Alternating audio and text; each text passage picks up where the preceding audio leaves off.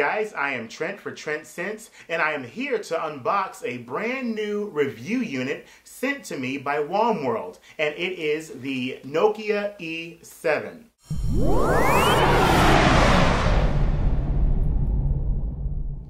Okay, here we have the retail packaging for the Nokia E7. You have a picture of the phone here along with branding. And on the lower right hand corner, you have a signed autograph from the CEO himself.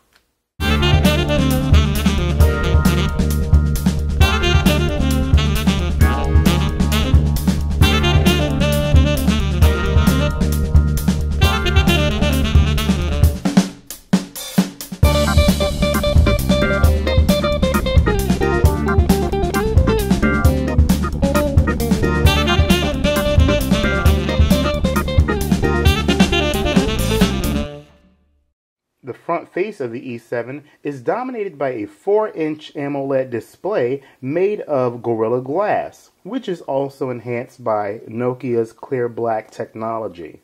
As far as I know, Clear Black technology is all about reducing the overall reflection on the phone screen to give you deeper blacks. This in turn enhances the contrast to make whatever you're looking at much easier to see, especially outdoors.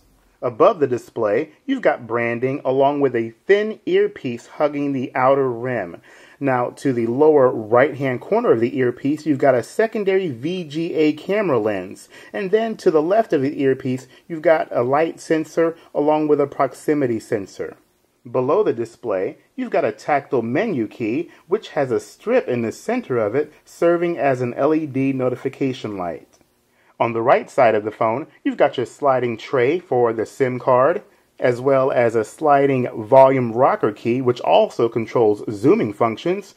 And then you also have a tactile button for the camera. And the left only displays the lock switch. On the top, you've got a micro USB port with an LED indicator for battery charge. Next to that, you've got an HDMI port a tactile button for your power, and then a 3.5 millimeter headset jack. The bottom features printing of information as well as the main microphone on the lower right hand corner. On the back, you have a loudspeaker, engraving of the Nokia brand name, a fixed focus 8 megapixel camera, dual LED flash, and a secondary mic for active noise cancellation.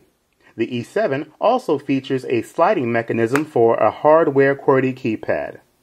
I really was never expecting to ever run into this particular phone. I really thought that I was going to get to a point where I wasn't going to be that excited anymore about the E7. But I was wrong. Um, I finally have the E7 as a review unit from WOMworld Nokia.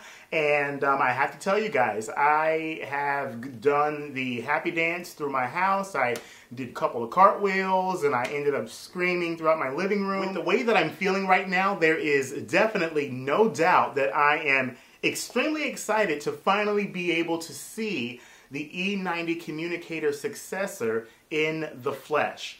Um, I wow! And just when I thought it couldn't get any better, uh, come to find out, the graphic that is on the packaging sleeve is actually personalized to my blog and a quote that I had made a while back about the E7. I really have to say thanks to WOMworld for uh, for doing such a nice gesture uh, to me and to many other bloggers that have received the exact same kind of treatment in their unboxing units. Okay, after taking some time to get everything set up with my E7 review unit, I have to admit that, guys, I literally had an intense nerdgasm in the first time that I held this device in my hand.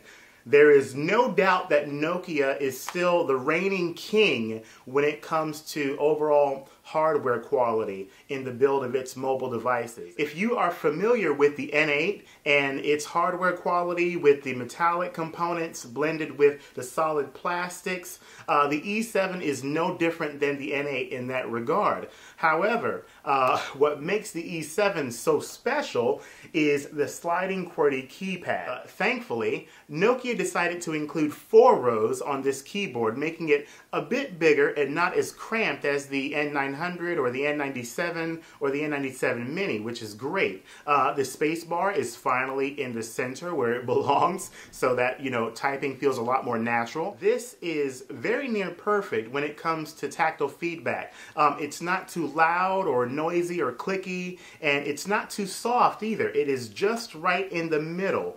Um, and it reminds me of the HTC Touch Pro 2 keyboard. Basically, Nokia has hit a home run with the E7 keyboard, and I am very eager to get my practice in using it uh, in writing out a review with QuickOffice.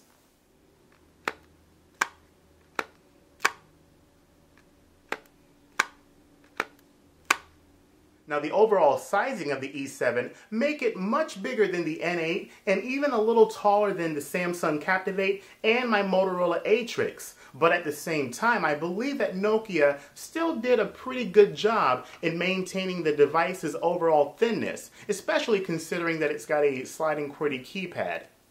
My first impression of the clear black display is that it is truly amazing when it comes to just looking at the UI of S3 all over again. Um, I really have to say that looking at movies and pictures may well indeed be a contender to the Super AMOLED display that I used to have on my Samsung Captivate.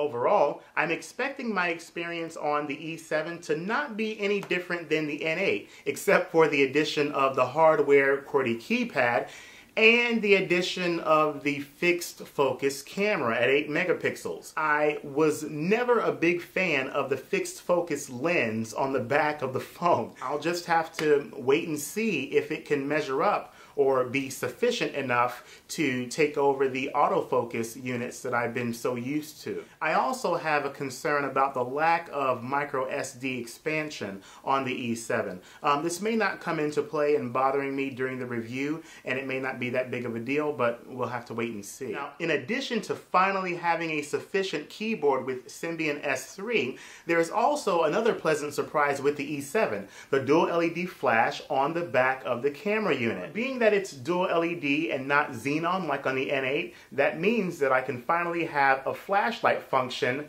on the phone.